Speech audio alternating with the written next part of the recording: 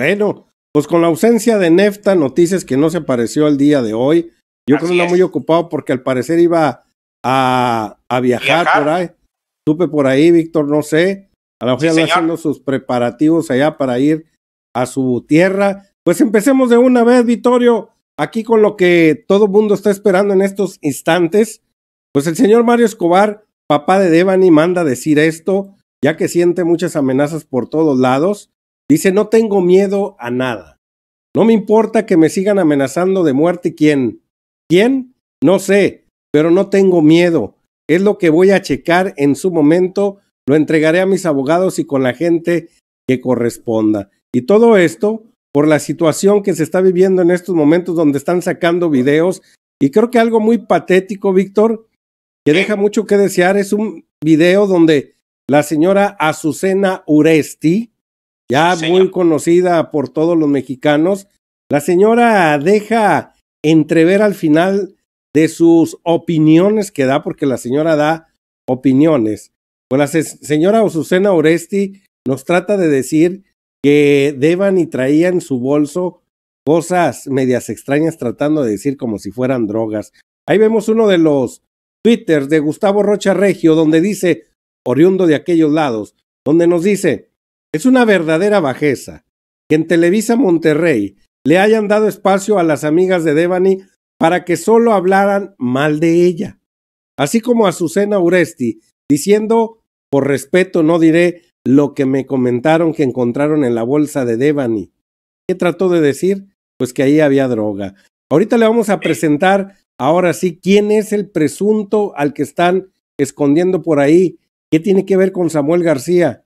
Ya ve que siempre los privilegiados te cuidan las espaldas. ¿Cómo ves, Vittorio? Fíjate, Carlos, que aparte de ser una eh, nota tan mediática, un, problema social tan mediático, porque no fue la única que, pues que desgraciadamente perdió la vida y otras, pero que al parecer no se tienen evidencias, no se tiene absolutamente nada para poder iniciar verdaderas investigaciones. Y ese es el gran problema de darle eh, las primicias, si se puede llamar así, a quienes carecen de moralidad, a quienes carecen de profesionalismo, como esta Susana Uresti, que deja entrever, ni siquiera lo dice, pero deja entrever eh, y cierra el caso que, que, eh, que esta Devani traía algo ilegal dentro de su bolso. Luego salen otras versiones diciendo que su bolso estaba en otro, eh, eh, en otra parte, que ni siquiera estaba con ella y que el teléfono todavía estaba en otra parte, Carlos. E, es una situación que la verdad, la verdad, es necesario que se clarifique, es necesario que se transparente, porque las autoridades de Nuevo León, empezando desde con el gobernador, que asegura que el problema de las desapariciones de las mujeres es por un problema mental de las mismas mujeres y que por eso desaparecen. Creo que eso eh, tiende a, desvirtuar lo que pudiera ser la verdad absoluta en este caso. y sí, la pregunta es, ¿a quién están tratando de defender? ¿A quién están tratando de ocultar? Y tratar de deslindarlo de, de la responsabilidad, Carlos. Están creando demasiada confusión. Vamos a escuchar al forense, Víctor, a ver qué dice. Son, es todo lo contrario a lo que las autoridades del gobierno están diciendo ahorita o los medios de comunicación comprados. Vamos a escuchar. Precisa de la causa de la muerte, pero a, a tu pregunta de que si ya iba muerta, obviamente por el lugar y lo que encontramos, ¿verdad? La muchacha cayó todavía viva, ¿sí? Eh, donde se encontró, estaba viva y hubo oportunidad de ella todavía de ¿Tenía, ¿tenía agua en los pulmones? No, no, no, no. ¿Cómo es posible esto que, que si cayó viva este, no se ahogara? Se paró y la no sé la altura si usted sepa eh, cuánto medía la cantidad de agua en la cisterna. Eran 90 centímetros. Bueno la causa fue muy precisa verdad del, de causa de la muerte. Bueno, ahí queda claro que dice que la altura del agua es de 90 centímetros, que se paró todavía, que ella trae golpes, Víctor, o sea, no murió, no tenía agua en los pulmones, por lo tanto, no murió de lo que tanto nos han dicho, Vittorio. Pero miren, les voy a mostrar aquí en pantalla, en estos instantes, eh, eh, parte de eh, a quien supuestamente está, bueno, no es supuestamente que está en los, en los audios en los cuales varias de las amigas han compartido al respecto de esa situación. estos audios, aquí está, estos audios hablan de un tal jaguar, donde el sujeto no le tenía, la muchacha no le tenía confianza a las Dani, de Escobar. Decía que no le tenía confianza. Aparentemente la estaba acosando a ella.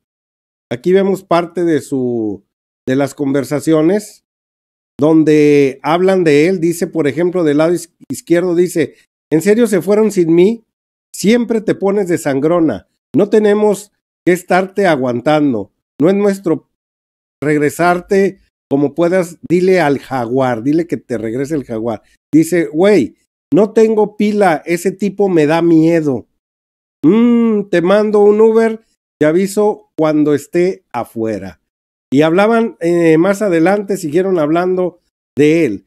¿Quién es el supuesto jaguar? Aquí se lo voy a poner en la pantalla, una fotografía aquí con Samuel García el supuesto mentado jaguar, dice que es el sujeto el cual Devani Escobar le daba miedo.